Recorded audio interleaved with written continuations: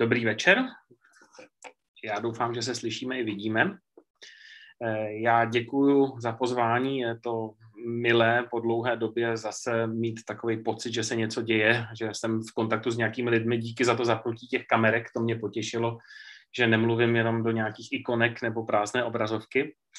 Eh, já nazdílím svoji prezentaci a začneme rovnou.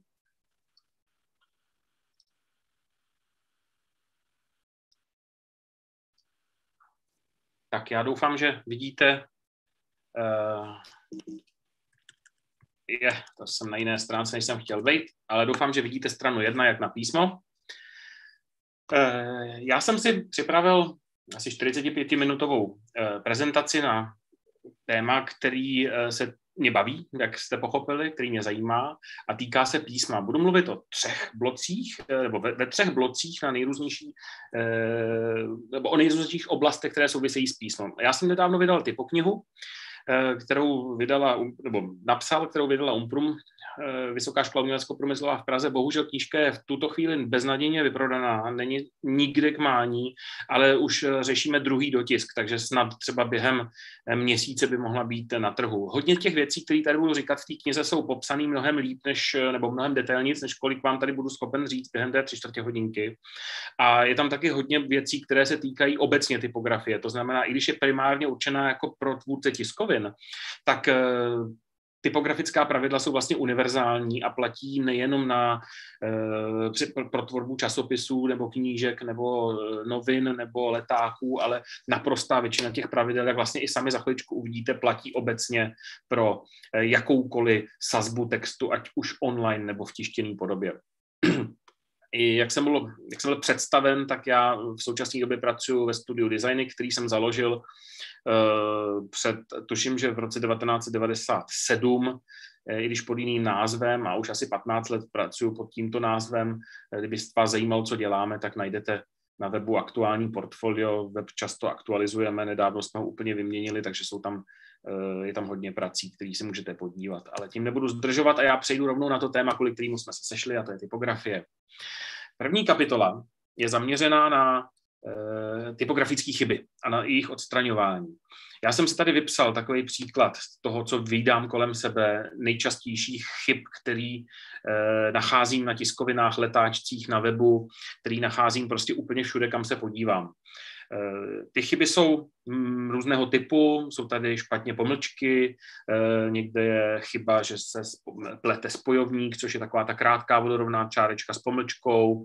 Eh, jsou tady, nevím, jestli vidíte kurzor, ale pokusím se to ukazovat trošku tou ručičkou. Jsou tady špatné uvozovky, nebo respektive vůbec žádné uvozovky, tady ty symboly těch z psacího stroje, který se kdysi používal jako náhrada uvozovek, nějaký mezery navíc, kde nemají být popletený apostrofy, tři, pople, tři typy popletených apostrofů, chybějící mezery za tečkou, eh, čtyři tečky na konci věty, nesmysl. Eh, tady chyby nejsou, ale uvidíte, v čem spočívá odstraňování ty typografické, v čem spočívá jakýsi typografický cizelování textu. Eh, je tady písmeno x místokrát, metry čtvereční nemají horní index, ale je tam normální číslo dvojka. Velká typografická chyba je ponechání jednoznakového slova na konci řádku, ať je to spojka nebo předložka. Eh, minus dva stupně, místo minus je tam spojovník. Eh, různý typy mezer, který tam omylem zůstanou, to je typický, když dostanete text ve Wordu a skopírujete ho eh, třeba na internet nebo do sazecího programu InDesign, růz zůstanou tam ty mezery, který tam redaktor naflákal, ale jednou mu tam zůstanou tři, jednou dvě za sebou, jednou tam omylem nechá pevnou mezeru, jednou tam dá třeba dlouhou mezeru. Takže je docela dobrý tyhle ty věci vyčistit. A jak se to dělá? Nebo takhle. Eh, existují nástroje, které v podstatě na jeden klik, na jedno spuštění nebo jeden průchod eh, dokážou opravit naprostou většinu typografických chyb. Takže to, co eh, třeba v případě našeho studia, my máme nástroj do Wordu, který, eh, promiňte, do InDesignu, který používáme, kdykoliv dostaneme nějaký text od klienta a aplikujeme to na ten text a naprostá většina těch typografických chyb, kterých se dopouští redaktoři, je automaticky opravená. Co se vlastně stalo?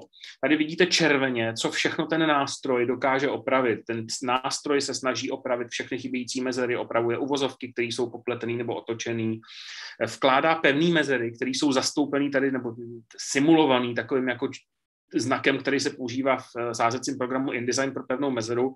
To znamená, že nedojde například k rozdělení 3. října na konci řádku, že by číslovka zůstala na konci řádku, což je považovaný za chybu.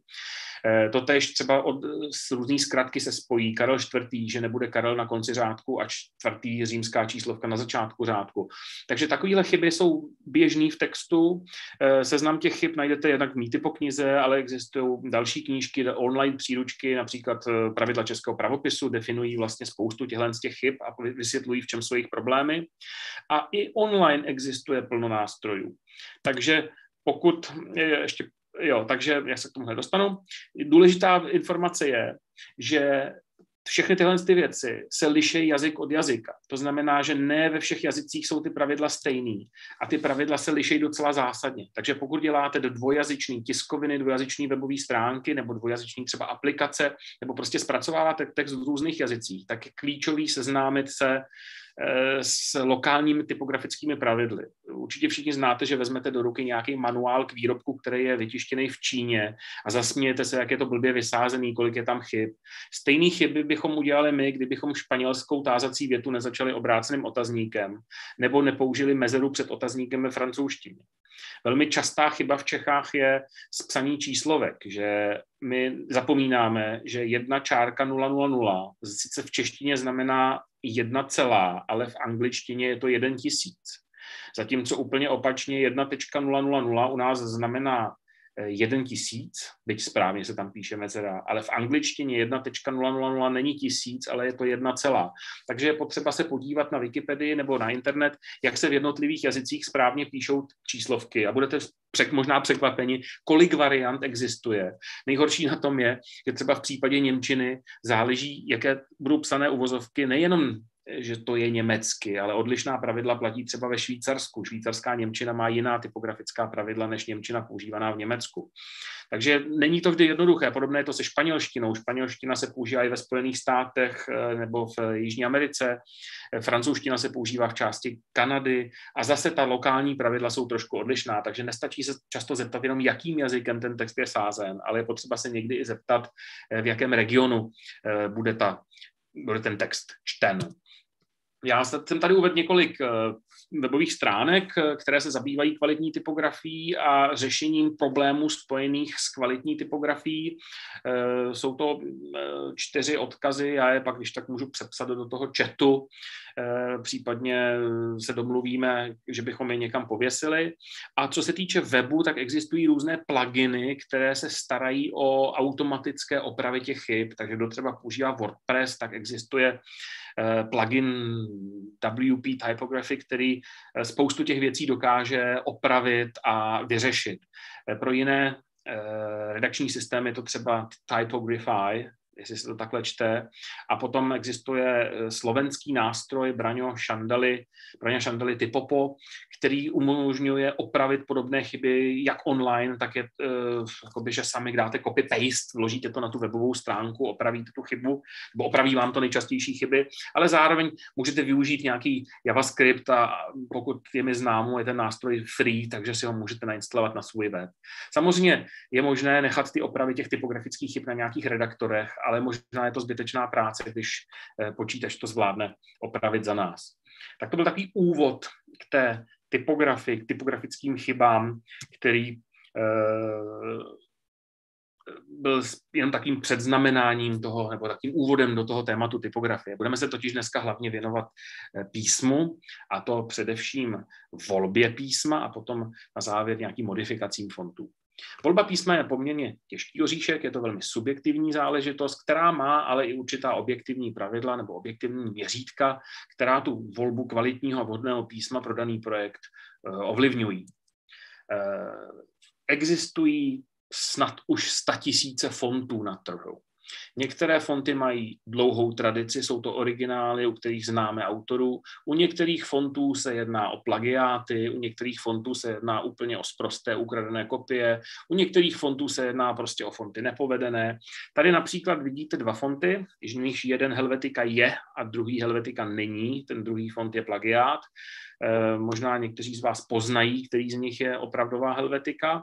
Helvetika je ten originál, je to fond z 50. let, který je velmi slavný, dokonce tak slavný, že o něm Gary Hoodswit natočil dokumentární film celovečerní, který naprosto vřele doporučuju. Ten film je strhující a zajímavý a doká- myslím, že i diváci, kteří nemají úplnou zájem, úplný zájem o písmo, Eh, u ní vydrží. Já jsem měl to štěstí, že jsem viděl eh, za mezinárodní premiéru v Praze na Smíchově, kde režisér byl sám překvapen, že kinosál nikdo z diváků neopustil, přestože se diváků ptal, kdo je tam za typografy nebo za designery, byli jsme asi tři, takže doporučuji vřele eh, najít si tenhle film, pokud se dá někde legálně promítat nebo stáhnout.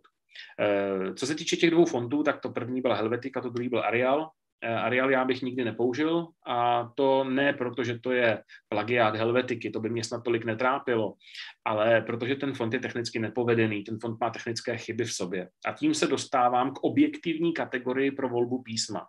Eh, pokud já přemýšlím o volbě písma, tak automaticky vyřadím všechny nekvalitní fonty, technicky nekvalitní fonty. Jak se pozná nekvalitní font? Například, že nemá kerning nebo má chybný kerning. Kerning je mezera mezi znaky, a aby mezery mezi znaky vypadaly, optimalizovaná mezera mezi, mezi znaky, aby font vypadal opticky vyváženě, tvůrci toho fontu upravují vzdálenost některých znaků. Typicky se upravuje třeba vzdálenost mezi LT nebo T a A, mezi V a A. Zmenšuje se oproti tomu, jak by ten fond vypadal, kdyby neměl tuto úpravu.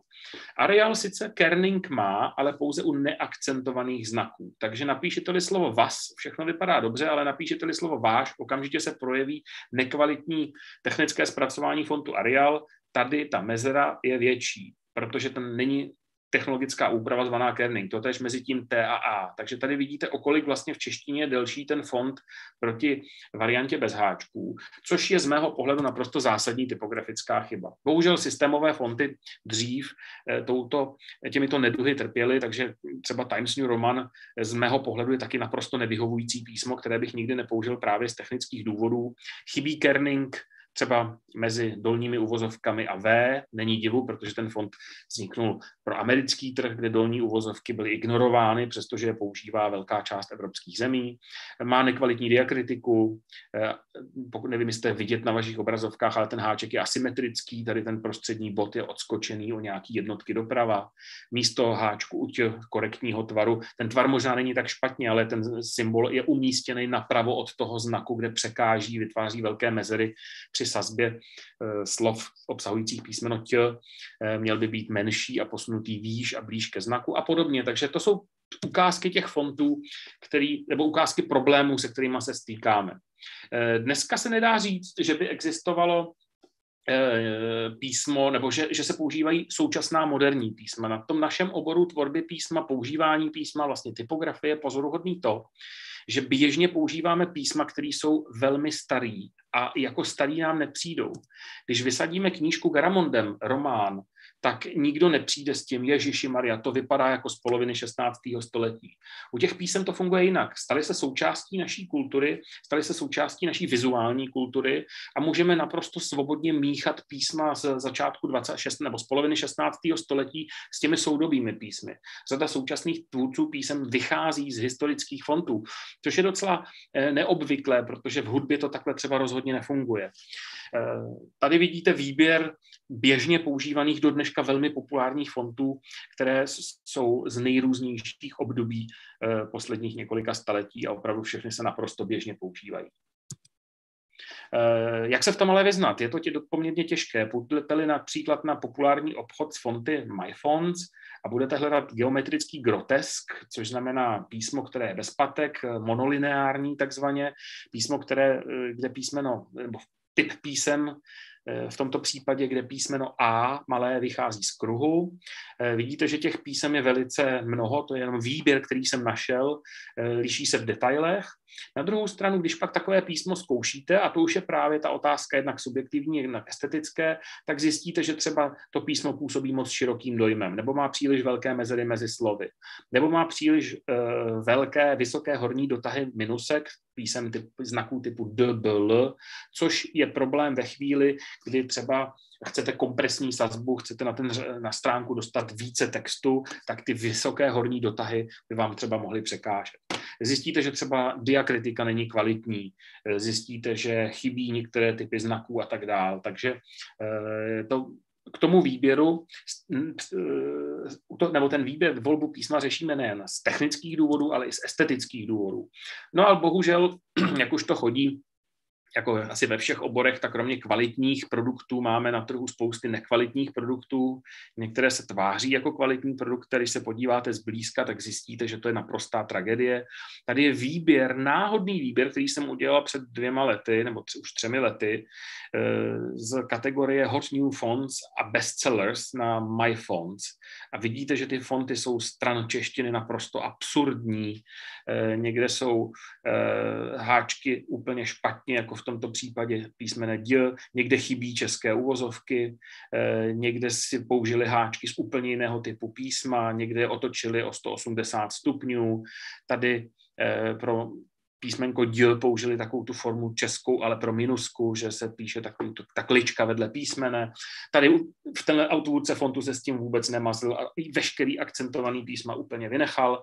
Takže ta situace není jednoduchá a vždycky je potřeba, pokud děláte, pokud vybíráte nějaký fond, kontrolovat nejen tu eh, řekněme, technickou kvalitu, která se právě pozná tím kertlingem, ale vždycky se podívat na celou tu znakovou sadu eh, těch znaků, které budete potřebovat, protože se může stát, že budete dělat ceník, vyberete si fond a zjistíte, že tam chybí znak euro, což je naprosto běžná situace. Eh, já používám dva takové základní eh, triky nebo spíš postupy pro odhalení kvality fontu. Jeden ten zmíněný kerning, to znamená, napíšu si slovo vlťavá a podívám se, jestli ve srovnání se slovem Vltava, jestli tam je kerning kleť a v A. A tady u toho areálu je to zase dobře vidět, že mezi A a V je malá mezera, mezi V a E obří mezera. A podobně se to má s dolními uvozovkami před písmenem T a horními uvozovkami za písmenem L. Ostatní české fonty, které používám, třeba adaptér z písmoliny, české písmoliny eh, Davida Březiny Rosetta nebo z písmolin Type Together od Veroniky Burian, což je typografka českého původu, tak obě ty písmoliny produkují standardní fonty a ty tyhle chyby samozřejmě nemají. Takže pro mě Arial nepřipadá v úvahu a budu si vybírat mezi jinými grotesky. Podobně se to má s písmenem díl. To je nejlepší lakmusový papírek pro mě při zjišťování kvality písem. Podívám se jednak, jaká je forma toho háčku, jestli tam není nějaký nesmysl typu svislá čára, nebo obyčejný apostrof, nebo snad dokonce háček, který připomíná doby psacího stroje. A taky se podívám na kerning, jak si to poradí se slovy, kde je díl. Jestli tam nevznikají šílené mezery, což je jedna naprosto běžná situace, anebo jestli se ten akcent nepřekrývá, což u velmi tlustých fontů vede k tomu, že ten záček prostě definitivně zmizí. Eh, správnou formu vidíte napravo, háček eh, u díl má buď tvaru takové malé devítky, víceméně zmenšeného apostrofu, nebo velmi svislé čárky. Obě ty formy jsou korektní, jak u bezpadkových, tak u padkových písem. A důležité je, že pokud se napíše slovo, které obsahuje slovo písmeno D, tak by to slovo nemělo mít nadbytečně velké mezery, jak mezi D a následujícím písmenem, nebo eh, ať už je malé nebo velké. Takže to jsou takový dva triky, který používám pro zjišťování kvality fontů. Samozřejmě do toho vstupuje i nějaká estetická kvalita a konzistence. A to už je věc, kterou možná nevidí každý designer, k tomu je potřeba určitá zkušenost. Já jsem si namátkou tady vybral čtyři, ne namátkou ne, prostě vybral jsem dva naprosto tragické fonty, které jsou z dispozici zdarma na Google Fonts. To první je font Jost, který možná, to i na těch monitorech, možná i v tom přenosu to bude vidět, že to písmeno S tak nějak prapodivně nedrží na účaří, klátí se ke straně, každá část toho tahu má jinou tloušťku a že ty písmena nemají jednotný duktus, to znamená jednotný zabarvení, jednotlou tloušku tahů. Takže srovnáte-li ve slově mizerný, tady to napojení dř- na dřík, tady to, ten spojení oblouku s tím písmenem, tak vidíte, že to tam je velmi tenké, zatímco to písmeno z je oproti tomu velmi tmavé. Skoro to vypadá, jako že to je ze dvou různých abeced. Nemluvím o háčcích, které se nahoře úplně zvláštním způsobem rozšiřují, což je velmi neobvyklé. Nebo o písmeno J, který nemá pěknou modulaci křivky a je velmi tmavé ve srovnání s těmi ostatními písmenami. Sulfur je ještě horší, to je naprosto nepoučené písmo. Eh, zase řešíme konzistenci, to znamená, podívám se, jak jsou zakončené jednotlivé tahy. Písmeno S má tah zakončený vodorovně, písmeno R kolmonatách, písmeno je svisle. Eh, designer by se měl vybrat, kterou z těch variant použije a ne použít všechny tři. Eh, chybí tady optické kompenzace, to znamená, že v místě styku eh, oblých tahů, napojení na dřík, se ty tahy obvykle trošku stenčují. Nic takového tady není. Písmeno K je úplně, úplně, úplně špatně. Některé znaky působí tenčí, silnější než ostatní. Ale najdete na Google Fonts velmi kvalitní fonty, třeba už zmíněné písmoliny literáta, to je velmi pečlivě udělaný font, který je učený třeba k sazbě knížek a považuji za velmi slušný Grotesque Work Sans, který taky najdete na Google Fonts. Těch fontů je tam kvalitních celá řada, takže to jsem vybral jenom dva, který mám poměrně rád. Zásadní věc pro mě je i volba účelu. Když vybírám font, tak eh, se soustředím i na to, eh, za jakým účelem byl navržen. Tento font byl navržen, ten první je Krabat Tomáše Brousila, českého písmotvůrce z písmoliny type, Suitcase Type Foundry a je to font typický pro knížky. Eh, je to taková interpretace klasické knižní antikvy. Druhý fond je Frutigera, Adriana Frutigera, který eh, vzniknul pro jedno z pařížských letiští pro orientační systém. Je to fond, který je vymyšlený tak, aby byl dobře čitelný. Má otevřené tvary znaků, to znamená, že i když běžíte, nebo je mlha, nebo je eh, špatné osvětlení, tak ty znaky zůstávají čitelné a dodnes se používá třeba v některých zemích na dopravních značkách. Eh, písmo Build eh, Davida Jonathana Rose, typický kondenzovaný grotesk reklamní, typický pro bulvární titulky v bulvárních médiích.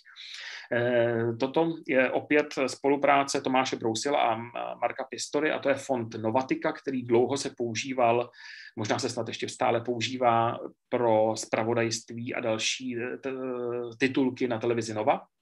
Bylo to televizní, televizní písmo, které bylo specificky přizpůsobené určitým specifikům televizního vysílání. A poslední Roboto, což je fond, který vzniknul za účelem uh, uživatelského rozhraní. Takže se opět jedná o velmi čitelný fonty v malých velikostech. Eh, to znamená, vždycky já se snažím zjistit u každého fontu, jaký, za jakým účelem vzniknul a použít fond, který odpovídá svému účelu. Takže já bych nikdy ten prostřední třeba nepoužil na sazbu románu, a pravděpodobně bych nepoužil ten první pro orientační systém na letišti, protože to jsou úplně odlišné uh, účely, než pro jaké byly vytvořeny. Eh, samozřejmě, že volbu písma ovlivňuje i čitelnost. Tady nevím, jestli všichni přečtou ten první nápis, ale rozhodně na první pohled je ten druhý nápis jednoznačně čitelnější. A tam, kde jde o život, dopravní značky, navigační systémy eh, v dopravě, písmo, které se používá třeba na displejích automobilů, to musí být čitelné, to musí být srozumitelné a není možné, abyste si spletli třeba některé písmeno nebo aby, se, aby nebylo srozumitelné, jestli máte jet rychlostí 60 km za hodinu nebo 90 km za hodinu. Písmo v takových situacích musí být prostě dobře zvolené s ohledem na perfektní čitelnost. Eh, do volby písma vstupuje také eh, škála duktů. Duktus je typografický termín pro tloušku písma. Eh, běžně mají rodiny písem základní a tučné, ale čím dál tím víc rodin dnes těch moderních nabízí širokou škálu řezů. Eh, není to proto, abyste v designu použili všechny od toho ultra tenkého pro ten extra tlustý. Je to proto, abyste si vybrali třeba dva nebo tři nebo třeba čtyři, které vám optimálně eh, vyhovují v rámci dané tiskoviny nebo v rámci daného projektu třeba webového. Takže třeba pro základní písmo použijete regulár, pro titulky black, ale hodí se vám bold třeba na popisky obrázků. Takže nedoporučuji vybírat eh, nebo používat za každou cenu všechny, ale opravdu se soustřeďte a eh, neskomplikujte čtenáři eh, jeho zkušenost třeba tím, že přehltíte tiskovinu nebo webovou stránku mnoha a mnoha fonty, protože ono to může mít i vliv třeba na dobu načítání té stránky, pokud byste použili moc příliš velké množství fontů. Další věcí, kterou vstupují do hry, jsou, já tomu říkám, typografické finesy. Jsou to vlastnosti fontu, kterým se říká v angličtině open type features. Jsou to vlastně jako si takové typografické vychytávky, které vycházejí z historie a mnohé nové fonty obsahují. Jsou to třeba ligatury, které nejsou zásadní pro tu sazbu, ale jsou to takovou třešničkou na dortu. Říkají, dali jsme si pozor a používáme ten fond úplně v té nejkvalitnější možné formě. Eh, malé kapitálky jsou skvělý nástroj třeba pro vyznačování, protože tučné písmo někdy příliš na sebe poutá pozornost a v sazbě, zejména v tiskovinách, může rušit. Eh, malé kapitálky jsou skvělým způsobem třeba pro vyznačování jmen eh, v seznamu literatury nebo pro takové drobné nadpisy. Eh, populární jsou také skákavé číslice, protože z toho textu, který máte, nevyskakují, takže se běžně používají třeba při sazbě románů. Naopak skákavé číslice nejsou úplně vhodné třeba ve slovnících a už vůbec jsou nešťastné v učebnicích matematiky, protože třeba ta malá číslice jedna nebo písm, eh, číslice nula se může zaměnit s písmenkem O, toto se může zaměnit s písmenkem I, takže u těch řekněme, vědeckých nebo odborných textů použití malých kapitálek, eh, použití skákavých číslic moc nedoporučuju. Pro mě zásadní roli při výběru fontu hrají i e, speciální znaky nebo symboly, protože když sázíte knížku, která obsahuje matematické vzorce, tak budete potřebovat třeba horní indexy. Když budete sázet knížku o uměleckých dílech, budete potřebovat znak krát. Když budete sázet knížku o bankách, tak třeba budete potřebovat symbol i ukrajinské měny hřivna a podobně. Takže vždycky je dobrý e, před projektem se podívat eh, na ten text, který dostanete, nebo zhruba na strukturu textů, jak budou vypadat a zjistit, jestli třeba nebudou potřeba nějaké matematické vědecké symboly, jestli nebudou potřeba zlomky, eh, šipky a další, další elementy. Samozřejmě, že se to dá poskládat i z různých fontů, ale prostě to tu tvorbu tiskovin nebo třeba elektro, nějakých eh, textů na webu může trošku zkomplikovat. Eh, samozřejmě s tím souvisí podpora jazyků, to znamená, že ne všechny texty jsou česky, někdy se prostě stane, že máte odborný text, který musí být eh, vysazen částečně třeba v řečtině nebo v azbuce. A aby to nebylo tak jednoduché, tohle jsou totiž jazyky, které píší zleva doprava a mají vlastně stejný princip sazby, to znamená sázíme písmenko po písmenku, ale máme taky jazyky, které se píší zprava doleva, jako je třeba hebrejština, tam je ukázka písma Noam, nebo arabština, což je ukázka písma Skolar. A v některých například sázecích aplikacích to nefunguje. Tam vidíte vpravo, co se stane, když použijete základní eh, textový rámeček v InDesignu, tak se ta arabština i hebrejština rozpadnou a zobrazí se vám pospátku. V InDesignu se to dá řešit, tam se dá zapnout podpora zahraničním jazyků nebo podpora více jazyků a, a arabština se automaticky otočí a píše se zprava doleva správně, ale ne všechny aplikace to zvládnou. Třeba populární nové aplikace Affinity neumíjejí pracovat s pra- textem, který je psaný zprava doleva. Aby toho nebylo málo, tak ještě existují lokální zvyklosti. Podíváte-li se asi jenom ti starší z vás budou ještě umět azbuku, takže nahoře máme černě vždycky řádek, který je standardní azbukou a dole pod tím jsou lokální varianty. Takže to první, řád, první dva řádky jsou vlastně bulharsky a druhé dva řádky jsou srbsky. A určitá písmenka se prostě v daném státu liší a používají se jiná. A zase ty alternativní znaky bývají ve fontech uloženy, takže je potřeba říct tomu textu, že je bulharsky například nebo srbsky a aktivovat dané funkce, které zobrazí ty správné znaky, aby Srb i Bulhar měli dobrý pocit z toho textu, který čtou. Podíváte-li se dneska na současné fonty, tak není výjimečné, že mají třeba 2,5 tisíce znaků. My tomu říkáme glyfy, protože ten glyf může, být, může reprezentovat nejen písmeno a číslo, ale různé symboly, diakritiku, interpunkci, obrázky, ikony, konec končů třeba i emoji. Eh, představte si tu práci toho designéra, proto jsou kvalitní fonty často tak drahé, protože abyste nakreslili takovéhle písmo, a to je Fedra Petra Bilaka, velmi známého úspěšného slovenského typografa, eh, která má sice 2,5 tisíce znaků, ale je to jenom latinka azbuka řečtina, ale Fedra existuje i v dalších písmových systémech, takže to jsou tisíce a tisíce znaků, které ten designer musel nakreslit. U deseti řezů je to třeba 25 tisíc glyfů. Samozřejmě funguje nějaká interpolace, některé věci se řeší matematicky, jak za chvilku uvidíte, ale je to pořád docela slušný balík práce. Kde získat fonty? Eh, písmo si můžete koupit. Ideálně je koupit si ho u písmoliny, protože když si koupíte písmo přímo u tvůrce, tu firmy, která ho vyrábí, nebo u designera, kterého, který ho navrhl a vytvořil, tak tomu designerovi přijde kompletně ta částka, kterou mu pošlete. Pokud využijete nějaký obchod typu MyFonts, Fonts.com a podobně, tak ti mají velkou marži a je to podobně jako ve Spotify, tomu umělci nakonec přijde těch peněz mnohem, mnohem, mnohem méně Eh, než kolik eh, je prodejní cena toho písma. Takže já kdykoliv se snažím, nebo kdykoliv můžu a kupuji nějaký nový fond, tak se snažím mít přímo za tou písmolinou. Ono to má ještě jednu příjemnou vlastnost nebo výhodu v tom, že když se pak seznámíte s těmi lidmi, tak oni vám třeba mohou víc vstříc a v budoucnu vám třeba, když vám budou důvěřovat, pošlou nějaké fonty na testování, nebo když objevíte chybu, tak vám ji poměrně rychle opraví, což se běžně stává, že ve fontu najdete třeba právě chybějící kerningový pár, tak můžete napsat písmolině, vážení, mm, samozřejmě anglicky, našel jsem chybu, není tady dobře udělaná situace mezi písmenkem t a a a e, nezřídka se mi stalo, že jsem opravené fonty dostal ještě týžden. Další varianta je předplatné, což kdo z vás má zaplacený Creative Cloud, tak pravděpodobně ví, že může využívat eh, písma z obrovské nabídky, které jsou k dispozici v Adobe Fonts. Je tam celá řada renomovaných písmolien, včetně například již zmíněné eh, písmolien Type Together, takže není problém používat eh, poměrně nová a v mnoha případech vysoce kvalitní písma.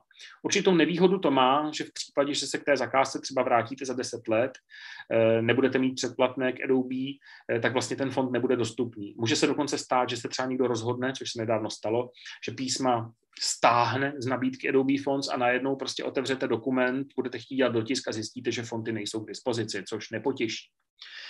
Řada firm, řada společností si nechává objednat písmo na míru. Má to obrovskou výhodu v tom, že to písmo může dokonale naplnit potřeby nějaké společnosti, dokonale může naplnit potřeby jejich uh, licenčních ujednání, dokonale naplnit potřebu jejich, uh, řekněme, repertoáru znaků i repertoáru jazyků, které ty fonty pokrývají. Takže pro velké firmy je to naprosto běžné, že automobilky, uh, telefonní operátoři, prodejci potravin mají, svá vlast, mají své vlastní fonty a e, bývá to, protože to není tak složitá věc, tak to má i řada kulturních institucí, setkáte se s tím u divadel, u, různých festivalů, že si prostě nechají vytvořit fond na míru, případně upravit existující fond na míru. E, a o tom budu mluvit později, co to vlastně znamená. Pak jsou open source fonty, to asi všichni znáte databázi fontů Google Fonts. Eh, ta má tu výhodu, že ty fonty můžete používat jak online, tak si je můžete stáhnout a nainstalovat do počítače a zcela zdarma používat k jakémukoliv účelu. Můžete je použít v komerční zakázce, můžete je použít do logotypu. Nejsou tam téměř žádná omezení. Jediné zásadní omezení je u těch open source fontů je, že je nemůžete modifikovat a prodávat. Vy je vždycky musíte ponechat s tou původní licencí, která umožňuje jejich šíření zdarma. Výhodou ale naprosto zásadní je, že, ta, že mnoho z fontů open source jsou k dispozici eh, přímo se zdrojovými kódy. A protože ty fonty můžete podle licence editovat, tak naprosto není problém si otevřít téměř libovolný Google font v editoru fontů, upravit si chyby, opravit si problémy, doplnit si chybějící znaky a ten font si pro svůj vlastní účel vyexportovat, anebo ho třeba šířit dál mezi přáteli, pověsit ho na internet. Ale jak jsem říkal, jediná nevýhoda je, takový font nemůžete prodávat. A tím se dostávám přes Google Fonty k modifikacím, protože to je právě docela zajímavé, že licence ke Google Fontům umožňuje modifikaci fontů. Eh, já se mám tady přehled nejdůležitějších nebo nejčastějších eh, situací, kdy se na mě lidé obracejí s prozbou na modifikaci fontu. Já tuhle službu nabízím, ale nejsem v Čechách jediný. Je nás tady několik, eh, kteří pro klienty eh, upravují různým způsobem fonty. Nejčastější asi problém, se kterým se na mě lidé do, obracejí už od roku 1996, kdy jsem vlastně začal počešťovat první fonty, je doplnění české diakritiky. To je asi takových fontů si myslím, že už jsem udělal asi 500, možná i víc. Eh, občas někdo chce změnit eh, tvar některých znaků. A tady už narážíme na problémy s licencí, protože většina licencí neumožňuje fonty modifikovat. S doplněním diakritiky je to podle zákona tak trochu na hraně, protože autorský zákon umožňuje přizpůsobit software eh, danému lokálnímu prostředí. Ale to tam už nespadá třeba změna tvaru některých znaků. Takže ta změna tvaru některých znaků musí mít vyřešený ten držitel toho, nebo ten, ten kdo má ten fond u sebe, kdo ho chce po mně upravit, musí mít vyřešenou licenci a musí mít svolení třeba od autora toho písma. Typicky se jedná třeba o doplnění chybějících znaků. Obrací se na mě třeba lingvisté, že potřebují doplnit pro e, transkripci nějakých indických jazyků třeba písmeno M s tečkou nebo T s tečkou. Nejrůznější symboly, jako jsou šipky, e, symbol mobilního telefonu, symbol e, nebo logotypy sociálních sítí. E, upravují se parametry interpolace, to z hĺbku uvidíte, to znamená, že třeba máte příliš tenké a příliš tlusté písmo a chcete vytvořit trošku jiné variace. Eh, dají se upravovat i relativní velikosti písma, to znamená, že to písmo se dá třeba přizpůsobit jinému fontu, aby pak, když dojde třeba k nějaké záměně, aby mělo stejnou střední výšku písma jako Arial. To znamená například, že když někdo z nějak, jakéhokoliv důvodu nezobrazí si web vaším konkrétním fontem, ale Arialem, tak aby ty velikosti těch písem byly identické. Eh, lidé potřebují občas opravit kerning, metriku, názvy glyfů. To jsou takové technikálie, které ale ovlivňují v řadě případů funkčnost těch písem, zejména pokud se jedná o třeba písma velmi stará, která byla navržena třeba v 90. letech a je potřeba je opravit, aby fungovaly v současných aplikacích. V případě, že to fonty umožňují, což je třeba případ Google fontů, může dojít i k přemenovávání jednotlivých fontů nebo řezů. A já se také zabývám tvorbou písem pro komiksy, kde dochází i k nějaké kontextové záměně. To znamená, že například uvozovky se uh, mohou zaměnit za nějaké ornamenty a je tam do těch fontů často používáme takzvanou pseudonáhodnost, že když píšete tu abecedu nebo píšete tu komiksovou bublinou a máte za sebou tři písmena A, tak se po každé použije náhodně jiné, aby to nevypadalo jako počítačový font, ale aby tam právě aby to vypadalo jako rukopis toho autora.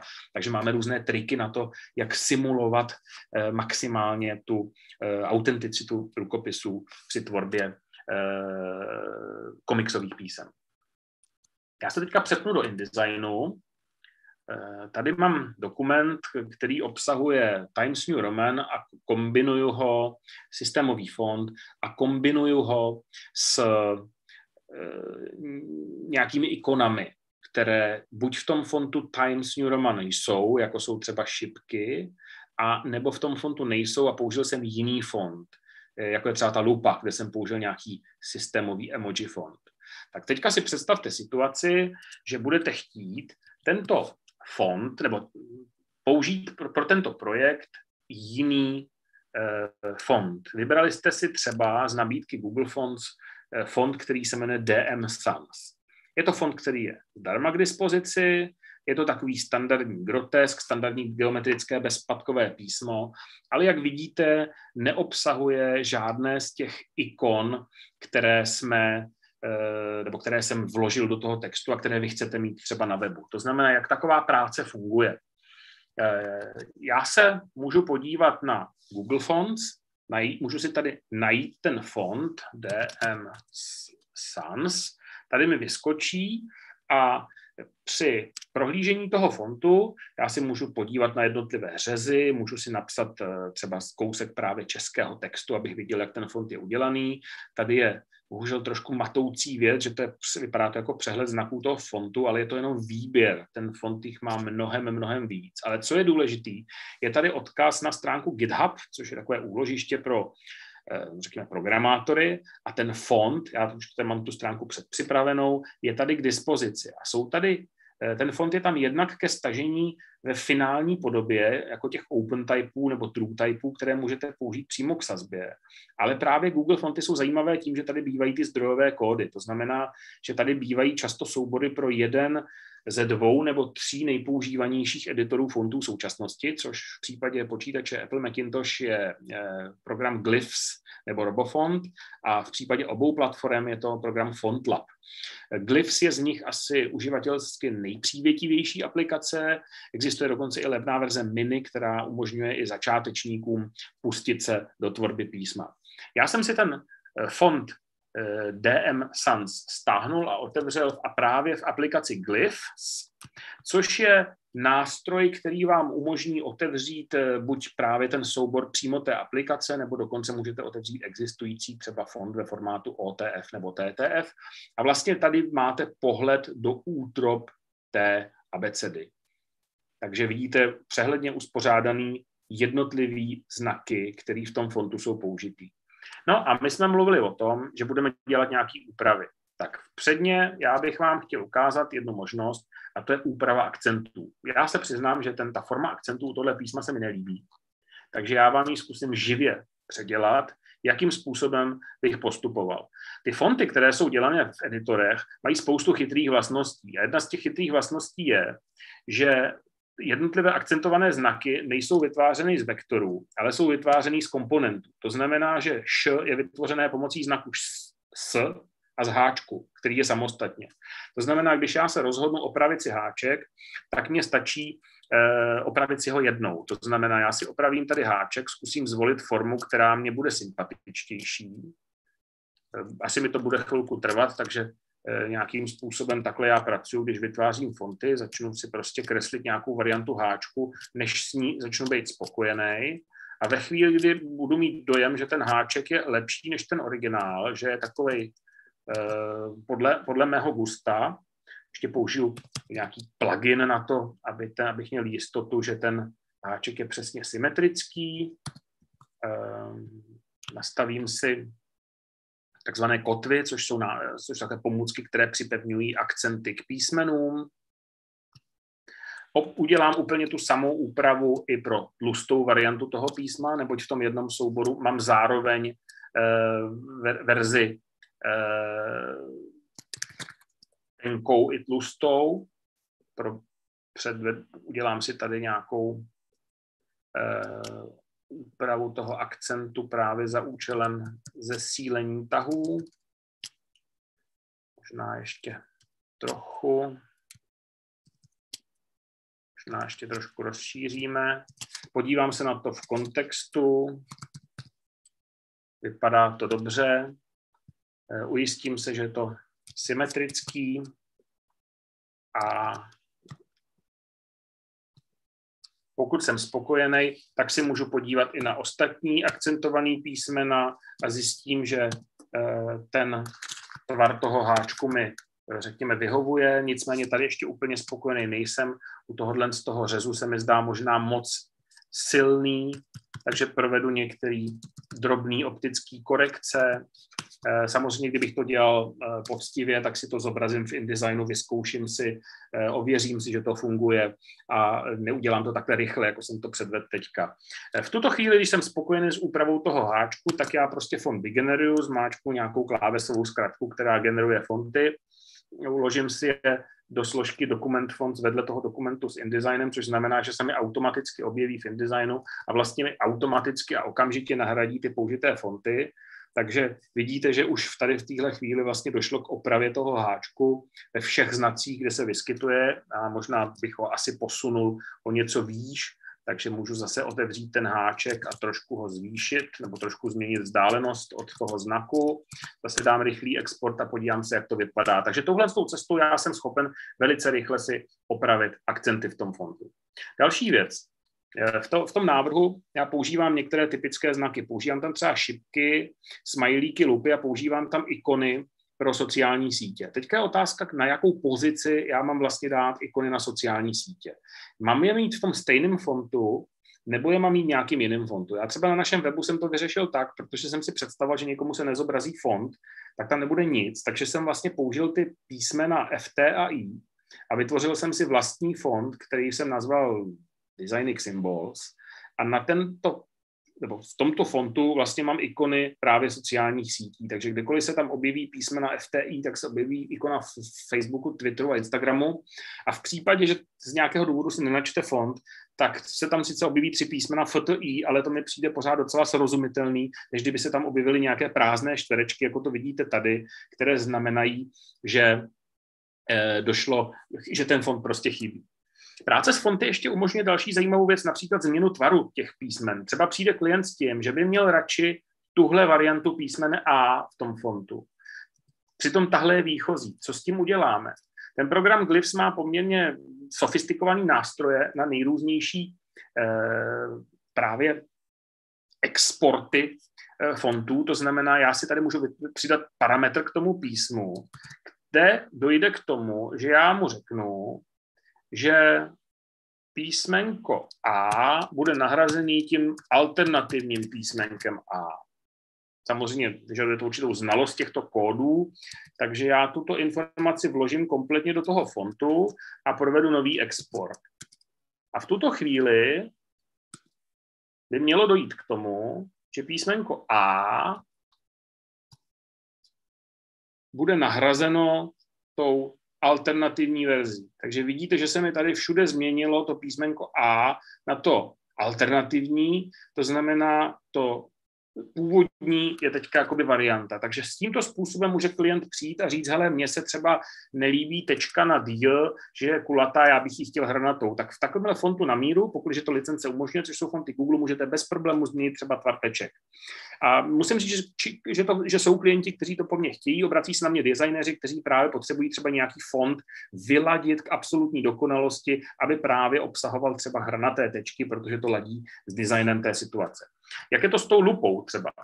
Eh, spousta znaků dneska má svůj mezinárodní kód Unicode. Například celý eh, systém ikon emoji je kódován, to znamená, že když si vytvoříte správný fond a správným způsobem pojmenujete tu, eh, ten symbol třeba lupy, v tomto případě jeho unicodový heslo je, nebo unicodové jméno je EF50D, tak taková lupa je pak univerzálně použitelná v libovolném fontu. To znamená, já v tomto fontu můžu prostě skopírovat lupu, přenesu ji do toho fontu DM Sans, tady ji přidám prostě jabkové nebo kontrolové, přidám ji, teď jsem udělal ale chybu, jsem ji omylem přidal špatně, ještě musím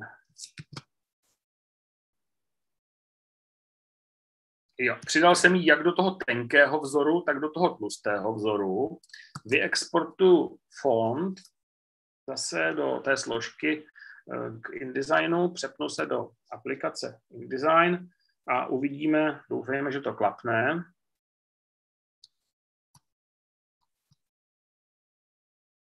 Někdy se ten font nechytí na poprvé a vidíte, lupa se mi nahradila lupou. Stejným způsobem bych vlastně mohl postupovat s šipkama. To znamená, já vím, že tady je šipka, já můžu jít do té aplikace Glyphs, eh, já nevím, jestli z hlavy budu znát, eh, jak se jmenují šipky. Já se podívám, jestli tady mám nějaký chlíveček pro takový nejčastěji používaný symbol. Je to tak. Já si tady předpřipravím třeba šipku doprava, vyberu si ji z eh, databáze existujících znaků a já si ji teďka můžu nakreslit. Prostě nakreslím si šipku přesně takovou, jaká mi vyhovuje. To znamená, že e, nemusím víc existující šipky, ale nakreslím si šipku, která třeba přesně stylem odpovídá fontu, na kterém zrovna pracuju. Vyrobím si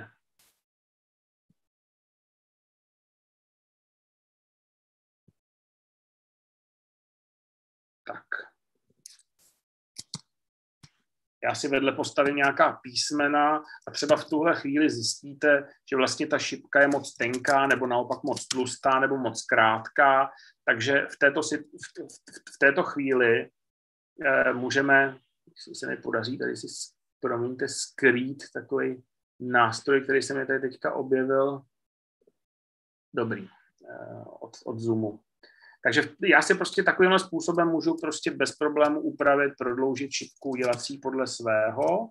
A protože vím, že ta šipka má správný kódování, tak ji pravděpodobně zase můžu vyexportovat i na správném místě, to znamená nahradí tu původní šipku, kterou jsem měl v tom fontu e, z písma původně Times New Roman. A vidíte, šipka se mi nahradila šipkou.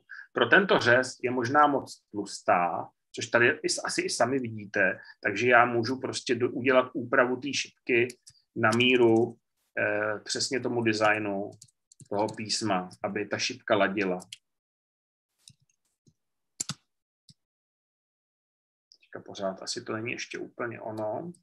A dole vlastně vidíte, jak dochází k interpolaci, že ta šipka vlastně se mezi tím tenkým řezem a tlustým řezem automaticky plynule přizpůsobuje nabídce řezů v tom fontu, což vám hned teďka ukážu, co tím myslím. Ten font DM Sans, který jsem eh, použil jako pro demonstraci, obsahuje eh, tři řezy. To znamená, že pokud vyberu celou tu, a já to použiju tady pouze, vidíte, že šipka jste stenčila, jo. Já to vyberu tady v tom prvním řádku, toto je DM Sans Regular, já můžu použít medium a třeba na poslední řádku já použiju bold. A mně se zdá, že ten rozdíl mezi těma řezama není moc velký a já bych chtěl větší. Protože v tom fontu, když se podíváte na rozdíl mezi tenkým a tlustým řezem, tak je mnohem větší než v tom eh, vygenerovaném fontu. Ten vygenerovaný font jsou takzvané eh, instance, jsou interpolovaný, nevyužívají naplno možnosti toho fontu. Jsou, řekněme, že z celého té škály od tučností oni zabrali jenom střed. To znamená, já se rozhodnu, že přidám i ty krajní situace. Eh, to je tady na to speciální tlačítko. A já teďka jsem asi udělal nějakou strašnou chybu. Ne, dobrý, promiňte, myslel jsem, že jsem udělal chybu. Neudělal jsem chybu.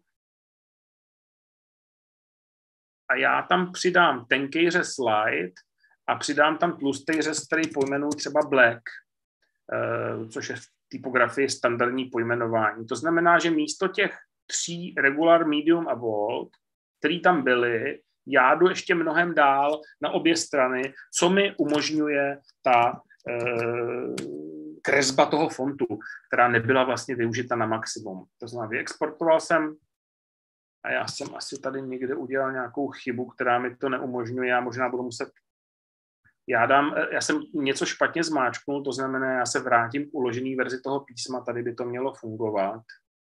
Možná zavřu a otevřu ještě jednou. Sice mi vypadnou ty, Eh, ta lupa a ta, ty úpravy těch háčků. Ale mělo by fungovat to, co jsem vám chtěl ukázat, pokud jsem to mezi tím neuložil. Já jsem si to mezi tím uložil, takže možná toto se mi nepovede, ale zkusím to ještě jednou.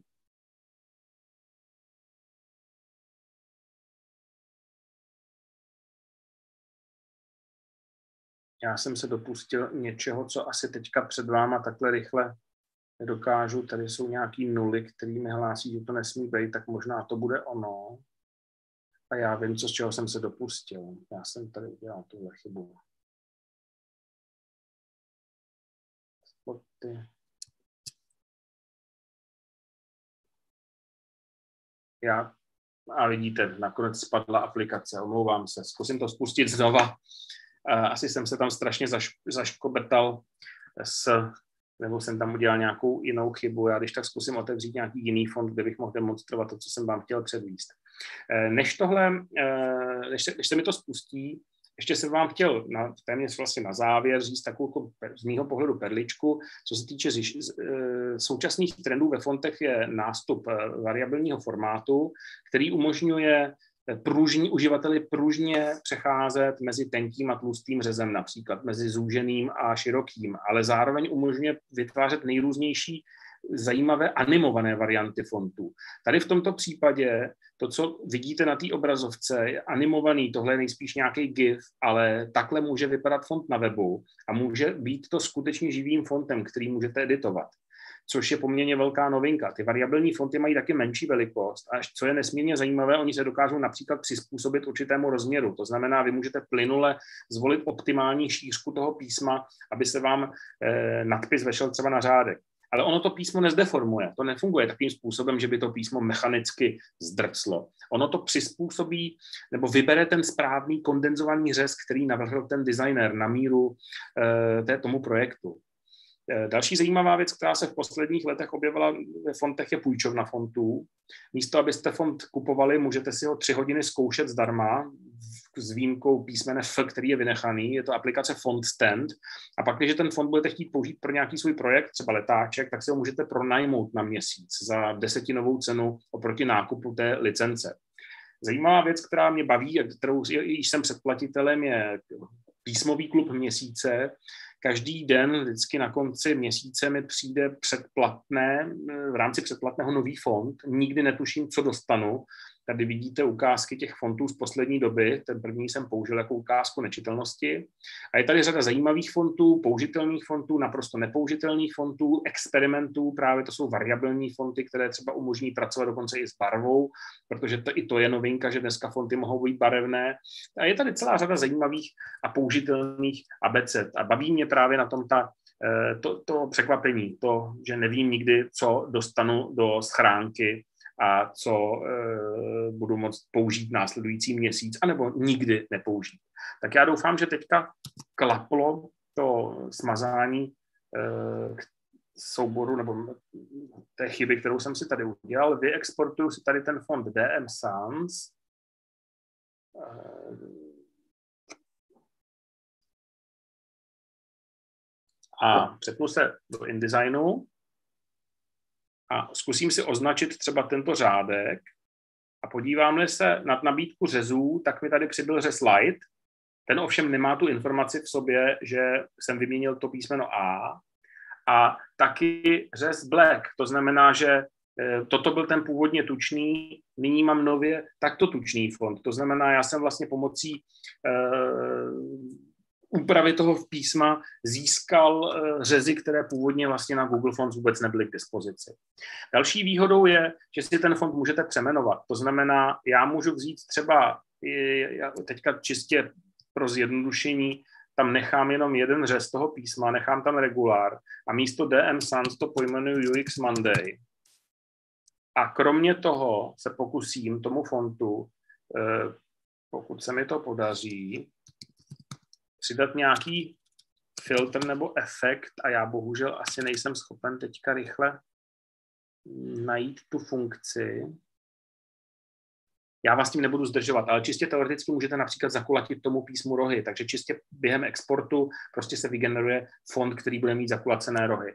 Takže já jsem se rozhodl, že jsem ten fond přemenoval na UX Monday, zase použiju nějaký tlačítko pro export a v tuhle chvíli Eh, pokud půjdu do InDesignu a půjdu do nabídky z fontů, bych tady měl mít nově v nabídce právě ten řez UX Monday, pokud se eh, to podaří načíst. Je možné, že tím, že ten fond ještě neexistoval, že budu muset, jo, už tady je, někdy je nutný zavřít ten dokument a otevřít ten dokument. V tomto případě stačilo pouze chvilku počkat a máme tady fond UX Monday, který můžu legálně používat.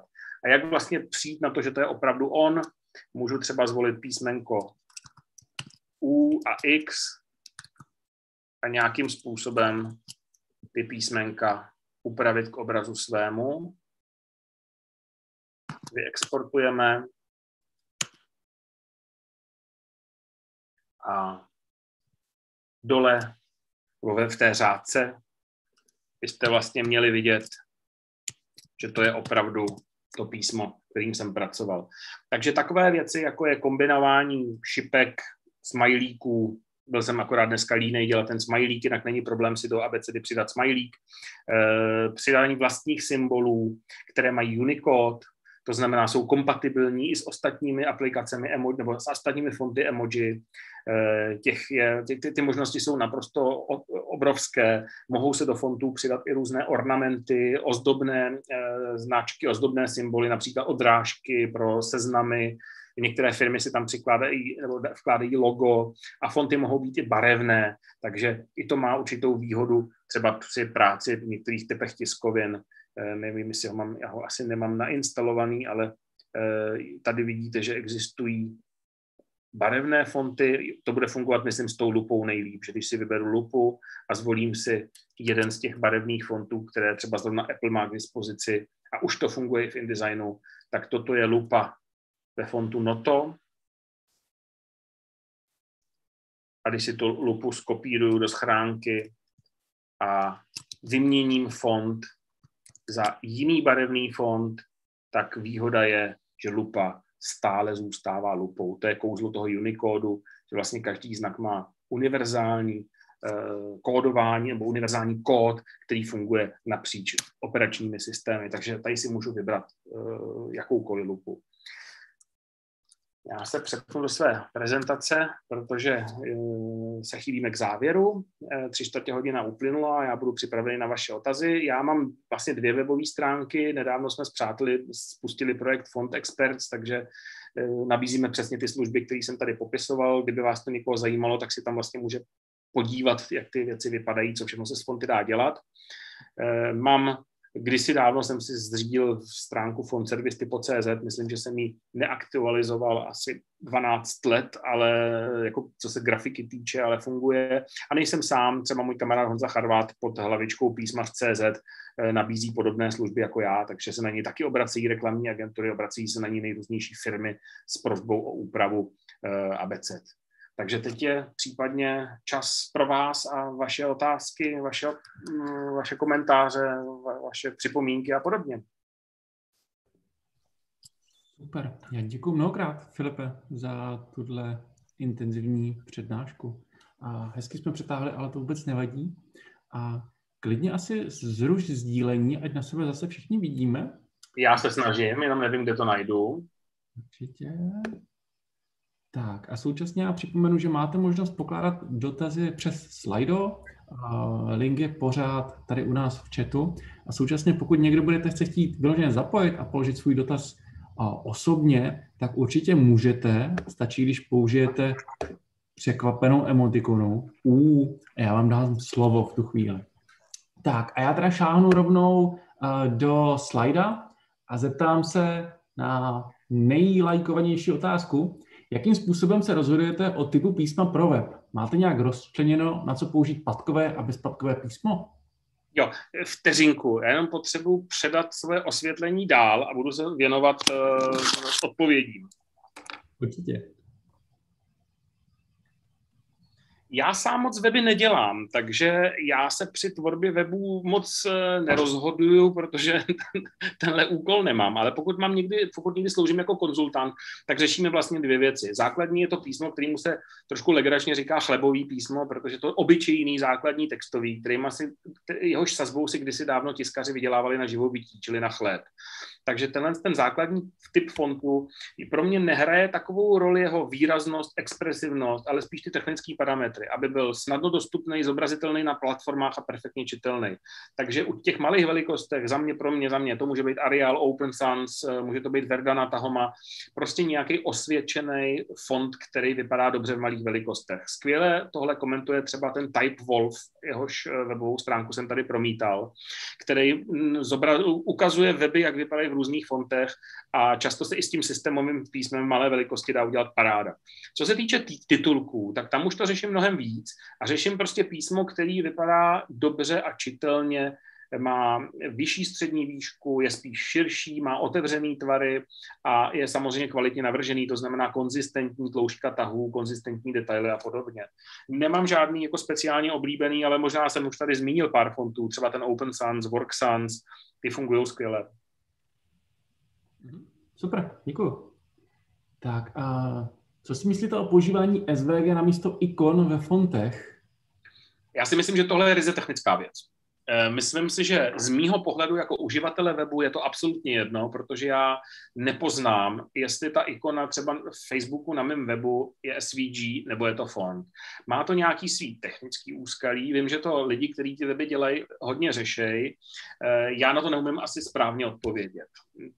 Jako z mýho laického hlediska je použití fontu jednodušší, ale použití SVG logičtější. Ale je to nepoučený komentář, takže tohle je věc, do které se určitě nechci pouštět. Jo? Mm-hmm. Já na to vložím další otázku, nebo svoji otázku takhle. A jak se proměnil vůbec oblast typografie ve chvíli, kdy je tady tisíc různých zařízení, na kterým ten text, ten stejný se dá vlastně zobrazit. Ať už lednička, ať už... Mm-hmm. To je dobrá otázka. To, s fontama to hodně souvisí, protože fonty obsahují v sobě informaci, která se jmenuje hinty, která se stará o korektní vykreslení daného fontu na displejích s nízkým rozlišením. Takže spousta fontů, právě třeba těch systémových, vypadá z mýho pohledu velmi dobře v malých velikostech, protože jsou optimalizovaný třeba v případě Verdany pro opravdu maličké velikosti individuálně v různých velikostech. To znamená, Verdana byla kdysi dávno optimalizovaná pro 12 pixelů, 14 pixelů, 18 pixelů a tak dále. Eh, skutečně záleží na tom, nakolik ta písmolina nebo tvůrce toho fontu věnuje péči těmhle těm detailům. A pak je prostě potřeba si buď vybírat font, který má tento hinting v sobě, anebo je potřeba zvolit font eh, nebo zvolit písmaře, který ten hinting je schopen do toho fontu dodělat. Já tohle, tenhle požadavek já řeším poměrně často. Mám konzultace ty, typicky banky, bankomaty, eh, obchodní domy, nějaký kasy nebo nějaký PDAčka pro, pro zákazníky, aby písmenka neskákaly, aby se některé písmenka nezdály menší, tenčí, větší, tlustší než ostatní.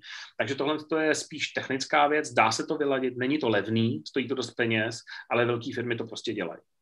Mm-hmm. Super já, já hinting nenabízím, eh, ale třeba Honza Charvát, kterýho jsem zmínil, hinting dělá. Jsou prostě ve, ve světě lidi, kteří se tohle, tohle profesí, to je vlastně profese, zabývají. Ta optimalizace toho písma pro konkrétní velikosti, aby to fungovalo skvěle na displeji třeba v autě. Mm-hmm. Děkuju. Pak tady máme, jaký mohou být argumenty pro nákup kvalitního, no, custom fontu, například korporátem je to třeba problém unikátnosti. Chcete-li, aby ta firma měla ten svůj jedinečný fond, díky kterému její hlas vizuální, její corporate identity bude jedinečná, tak potřebuje hovořit jedinečným hlasem.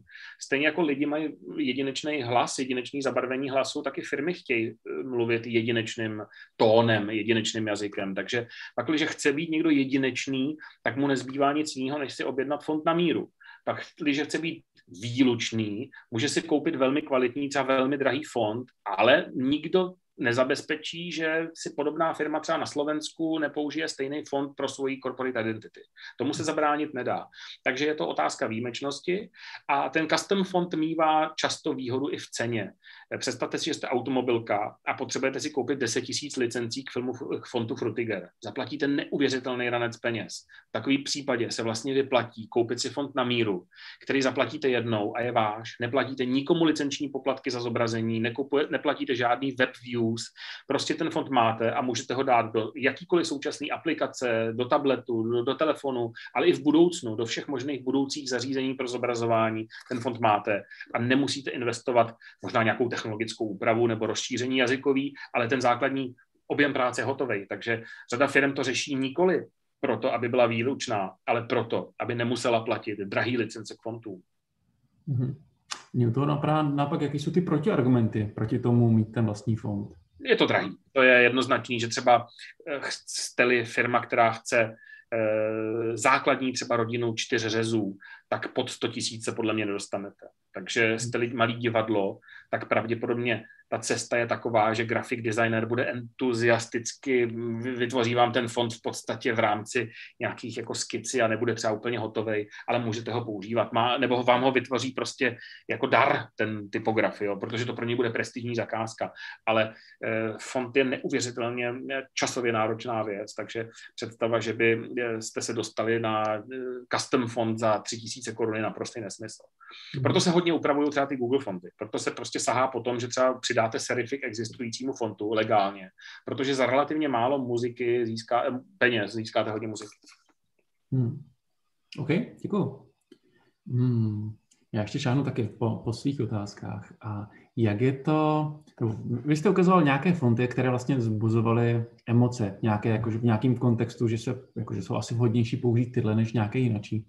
A jak je třeba um, v rovině různých kulturních zabarvení či vlastně vnímání jednoho fontu napříč různým světem. Řešil jste tohle někdy? Jsou na to nějaký výzkumy, studie, cokoliv? Uh, jasně, uh, tak jednak je zajímavý fenomen Comic Sans, že jo, jako most hated font, který prostě vyvolává šílené emoce mezi lidma ale asi jenom tím nadužíváním. Ten fond sám o sobě asi není problematický. Já bych ho nepoužil ne proto, že se mi hnusí, ale protože je všude a protože se používá často naprosto nevhodně na upozornění, že někde zákaz vstupu nebo na prodejnu květin nebo úplně jako mimo ten původní nápad.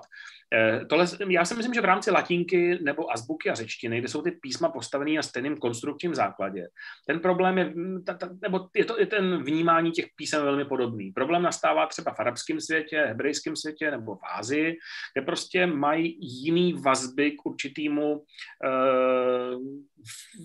estetickému vyjádření. Pro nás kaligrafie, ručně psaný písmo je něco spíš na svatební oznámení Pro arabského uživatele je kvalitně kaligrafovaný písmo spojený s Koránem, anebo třeba s eh, kvalitní literaturou. To znamená, že tam je to opačný. Tam prostě to, ta ruční psaní, čím více blížíte ručnímu psaní, tím je to kvalitnější.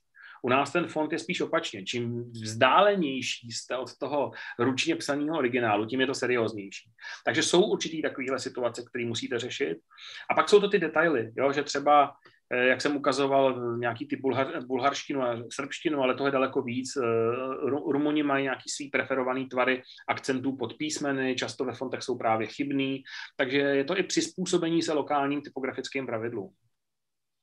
A s tím souvisí vlastně i úplně úvod týmí prezentace, že by vždycky, když člověk sází nějaký text, měl respektovat to, jak ty lidi ten, to písmo a typografii používají v té dané zemi. Použít správné uvozovky a použít správné pomlčky.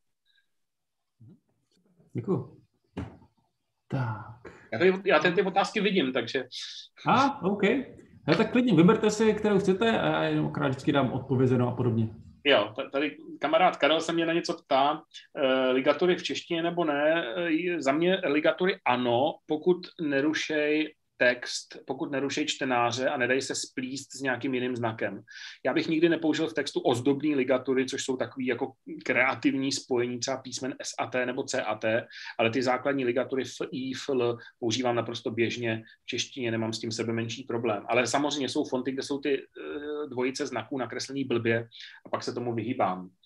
Eh, pak se tady píše, jestli si Affinity poradí se sazbou a zlomem českých textů. Ano, dá se instalovat slovník do Affinity češtiny, zejména pro dělení slov. Problém je v tom, že algoritmus sázení nebo algoritmus pro zarovnání textu v Affinity je primitivní a řeší ten text v pořádkách, zatímco v InDesignu se řeší v rámci ne celého odstavce, ale několika řádků před tím daným místem a několika řádků za tím daným místem. To znamená, InDesign aktivně hledá optimální zarovnání sazby.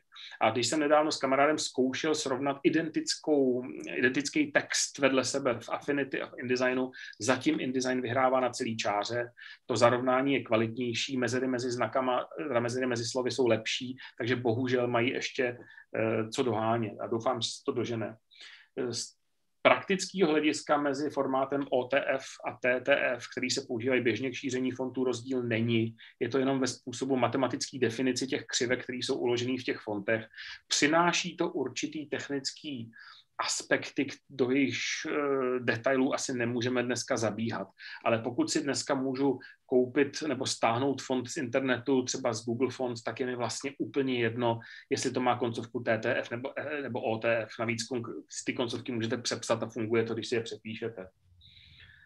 Eh, vertikální zarovnání písma, já vlastně nevím, eh, co, co, jak se to myslí, jestli já, já primárně pracuji s tiskovinama, to znamená, já zarovnávám prostě pomocí nástrojů v těch aplikacích, takže nevím asi, na co je míněný ten dotaz. Pak je tady dotaz na azbuka arabština. Ano, sázíme pravidelně v hebrejštině, sázíme běžně v řečtině, sázel jsem několikrát v azijských jazycích, jako je číština, japonština. Když si nastudujete nějaký základní pravidla eh, a dokážete přesvědčit InDesign, aby dokázal sázet zprava doleva, víte, jak na to, tak pak je to poměrně jednoduchý a není to žádný zásadní problém. Problém nastává v situacích, kdy potřebujete nějaký speciální pluginy nebo nástroje, ve chvíli dělat jazyk, který třeba v InDesignu není podporován, tak tam já jsem v koncích. Ale uh, arabsky nebo hebrejsky prostě v InDesignu sázet jde. Není to žádná krása, ale funguje to. A ještě než vám se vrátím slovo, tak je tady dotaz, eh, co když klient na vybrané písmo řekne ne, no tak samozřejmě klient může říct ne, stejně jako když si jdete koupit boty a prodavač vám vnucuje nějaký, tak vy taky řeknete ne. Prostě klient má právo odmítnout podle mě fond. Já se snažím klienty vždycky přesvědčit argumentema, proč jsem daný fond použil, ale pak, když mi prostě klient řekne, že nemá rád příliš široká písma nebo nemá rád patková písma, chtěl by to mít vysazené titulky bezpatkovým fontem, já to respektuju. Eh, já myslím, že to je součást debaty o barvách, písmech, eh, celkový kompozici, takže jako naprosto zásadní, ale zároveň běžná situace. Nebo ne zásadní, to zásadní problém, který um, má jednoduché řešení, prostě najdu schodu s klientem. Vracím vám slovo. Ha, super. Tak a já se v tomhle ještě zeptám na, jestli jste řešil situaci, kdy jste mluvil s firmou, která měla zájem použít jinačí typ fontu pro tiskoviny a jinačí pro digitální materiály. Řešil jsem to zrovna dneska. Uh, já jsem v tom poměrně tolerantní. Zase záleží na tom, jak velká expozice toho písma bude. Jo. Pokud by to bylo eh, písmo pro základní texty, že třeba v tiskovinách mají custom font a na webu mají třeba Source Sans, tak to považuji za docela bezproblémovou věc. Pak byli, že by se jednalo o nějaký zásadní titulky, eh, tak bych se moc, moc snažil najít řešení, jak to udělat buď co nejpodobnější, nebo, úplně, nebo nejlépe úplně identický. Ale hm, chápu ty situace. Ten dnešní můj problém byl s neziskovkou a přišlo mi logický raději použít trošku jiný fond, který ale bude fungovat v tom responsivním prostředí, kdy se slogan na té fotce přizpůsobí danému zobrazení, než dogmaticky trvat na nějakém fontu, což by mi znemožnilo eh, kvalitní, responsivní provedení toho sloganu. Takže mám pocit, že musíme být v tomhle tom asi trošku eh, opatrný, dokud nebude možný naprosto jednoduše používat písma na webu, Eh, ať už kvůli licencím nebo kvůli technikálím, které jsou s tím spojené. Mm-hmm. Tak, a potom ještě otázka, co je ideálním zdrojem ke studiu, pokud chci jít na základní typografická pravidla, kerning, intrap a podobně? Tak jednak eh, v češtině je to moje kniha Typokniha, která bude snad znova dostupná ale ta se písmu sice věnuje, ale zrovna, myslím, Inktraps nezmiňuju. Inktraps jsou takový, taková technologická pomůcka, která v místech, kde se stýkají dva diagonální tahy, udělá takový jako zvětšení bílého prostoru. Možná pozorní cestující v metru to znají z názvu stanic metra, kde jsou takové zásečky, u, třeba u písmene X, který tam nejspíš není, takže u písmene V. A to pomáhá, nebo zabraňuje tomu, aby ingoust v těch místech se jako rozlil po papíře a tím, že se ingoust vždycky trošku vpí a rozlí, ro, jako rozlejvá po tom papíře, tak vlastně zabrání tomu rozlití, protože tam vytvoří takovou falešnou, uh, falešnou, falešný prostor. Uh, tohle je ideální asi v angličtině najít si knížky. Teďka vyšla výborná knížka uh, Ulrike Rausch, která se myslím jmenuje Designing Fonts, je, je úplně nová v angličtině, žlutá. A mm, čtu ji teďka už asi 10 dní, nebo si příležitosti vezmu do ruky a myslím, že to je asi nejlepší učebnice tvorby písma, jaká je v současnosti k dispozici. Je hodně technická, a, ale je, obsahuje všechny ty současné problémy eh, spojené s interpolací, s eh, kompatibilitou Unicode, automatizace a nevím co všechno, takže doporučuji. A e, Určitě jsou v angličtině k dispozici další knížky, které se věnují tvorbě písma nebo právě písmu. Když tak e, klidně, ať mi pak ten Anonymous napíše, nebo, nebo to nebyl Anonymous, ne, nevím, kdo to byl, tak klidně, ať mi napíše pak individuálně. Mm-hmm. Karlovi Prokešovi říkám, že mu s alternativní verzí Ačka pomůžu v InDesignu, když tak osobně, to je příliš komplikovaný. Eh, jak jsem v kontaktu s lidmi z InDesignu, no v podstatě minimálně. Já se snažím přes nějaký fórum beta verze nebo alfa verze občas někoho oslovit, eh, málo kdy reagují, ale stává se spíš, že jsem na nějaký typografický konferenci, kde vystoupí eh, třeba zástupci Adobe InDesignu a něco komentují, tak já pak s nima můžu, teď už teda živě ne, ale dřív bylo možné živě se s nima pobavit o nějakých problémech, které souvisí se zazbou češtiny. Ale bohužel ten zájem o ten náš region je naprosto minimální z jejich strany. Máme tady otázku z publika PJ. Já dávám možnost se unmutovat. No, Filipe, ahoj, tady Pavel. Ahoj. Já, eh, já bych měl eh, otázku, která navazuje eh, hodně na to, jak jsi mluvil o těch písmech brandových nebo web, tiskových a tak dále. Zrovna to právě řešíme. Já to beru tak, že písmo má skvěle jako brandový potenciál míst je to hodně málo doceněný, ale někdy jsou i brandy postavení jenom na písmu. Ale teďka, v momentě, kdy jdu do, uh, tvořím aplikaci, tak ta, ten, ta funkčnost té čitelnosti má opravdu velikánskou váhu a proti tomu jde ten brandový mechanismus. A mě by hrozně zajímalo, jak bys to, jak bys to vážil. Já to mám pro sebe nějak vyřešit, ale moc by mě zajímal pohled někoho, kdo s tím písmem jako v podstatě žije každý den, kde je ta hranice té, toho použití toho brandového a spíš těch obyčejích, toho, toho písma, který je důležitý na, na, na čitelnost. A pak s tím by měl ještě jednu související otázku, která je taky uh, ohledně uh, tématu jako vlastně čitelnosti.